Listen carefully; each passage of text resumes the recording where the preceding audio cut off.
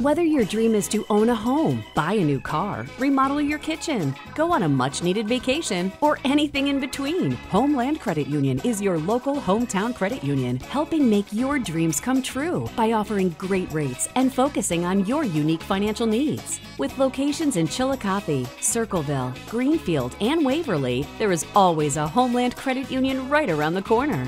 Homeland Credit Union, passionate about community, focused on you. Before my freshman year, I've always dreamed of playing with the big girls. But so before my freshman year, I set goals for myself that I wanted to achieve because I wanted to leave my mark on the field at my high school. So I set those goals for myself and I ended up breaking two school records and I even scored over 100 go career goals. So that was just that was just an honor in itself and I wouldn't have been able to accomplish that without my teammates.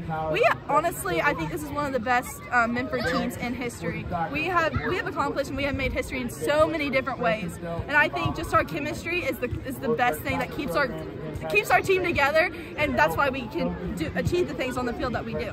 At the beginning of the season, like I, we have set goals for ourselves at the beginning of this season because we knew how good and competitive that we are. So once we looked at, now that we got the district um, tournament and we got to see what teams we played, we realized that we could honestly make a run through state that's our that's our goal to make it to the final four and I really think that our team can accomplish that because we work hard not only on the field but during practice and that is why we accomplish the things on the field that we do because we practice like we play. Our team is very senior heavy as you can tell so I mean, we have played with each other all growing up, honestly, and so just being be able to, being able to be on the same team, that also that just lets that helps us know how each other play. And also, we do stuff outside of school. We have gone on hikes, we have gone out to dinner, we've gone even before, to breakfast before before a game day. So I think just going doing little things like that really brings our team together. And I think team bonding is the biggest thing to keep a team together so you can accomplish the things on the field. Honestly, it was just our senior night. We had to talk about our favorite memories.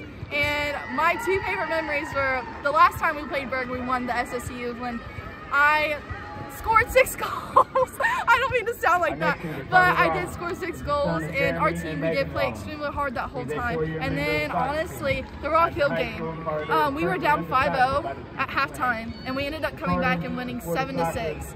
And that also just shows how hard and driven our team is to accomplish these wins and then again, like continue to go on throughout the tournaments and just on our SSC in general.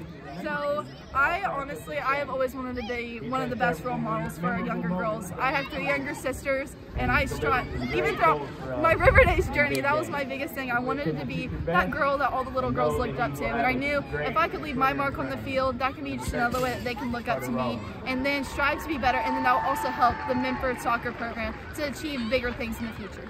I just wanted to say, my, I just want to say thank you to my teammates. We wouldn't have been able to accomplish the things we've accomplished without how hard we work. And truthfully, I wouldn't have been able to leave my mark on the field without them.